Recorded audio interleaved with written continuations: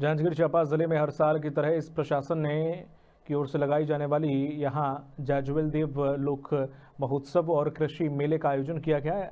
इस तीन दिवसीय आयोजन में जहाँ शिक्षा, स्वास्थ्य, कृषि, पोषण की जानकारी शासन के द्वारा स्टॉल लगाकर लोगों तक पहुंचाई जा रही है।